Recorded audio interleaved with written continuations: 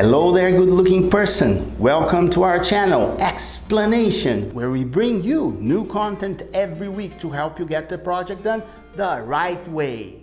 Let's talk about underpinning. What is underpinning?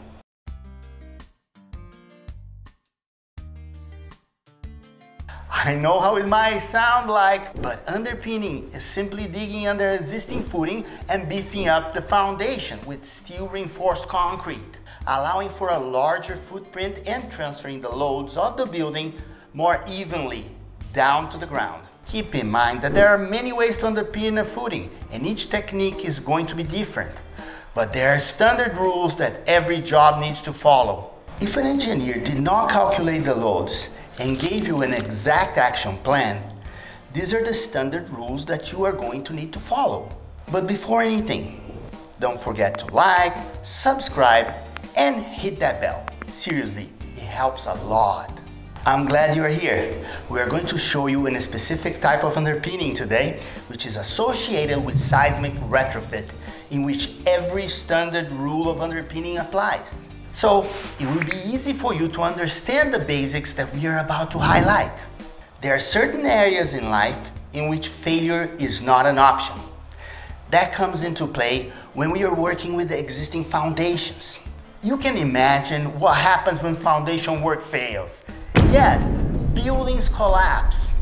So, we will help you to understand what underpinning is by illustrating the basic rules and at the same time explaining how to successfully accomplish your goals of reinforcing a foundation. In our example, we will also be introducing retrofitting systems to the underpinning to make the building stronger and better resist the next potential earthquake. This is an additional step of reinforcement that we are using in this example of underpinning only. Here are the most important rules.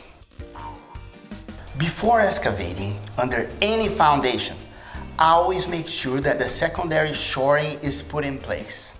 Shoring is a temporary structural frame that transfers the weight from the building, especially the areas that you'll be working under, to areas that are not being excavated.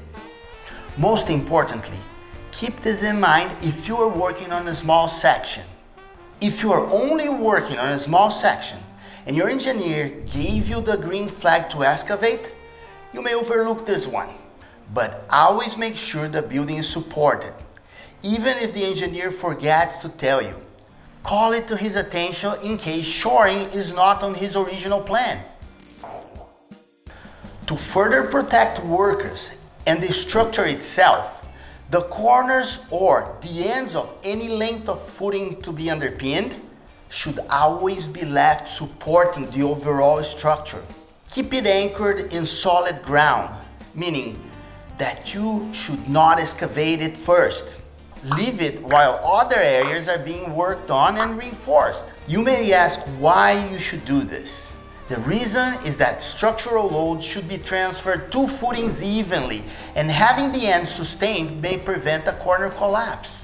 Remember, there are cases in which corners have pillars and columns that transfer the loads directly to the ground in a more concentrated manner. When you're working at the ends or at the corners of any building, just make sure the center is completely supported with new underpinning before you start excavating those areas. Moreover, they have to be done after the center has been well sustained and these new points of support are already as close to the end as possible, balancing the structure before underpinning the corners. Most importantly, do this only after all the concrete and the new foundation is well cured and supporting the rest of the building before the ends are done. I keep repeating this because it's important. Capiche? The curing process of concrete happens in a minimum of 28 days.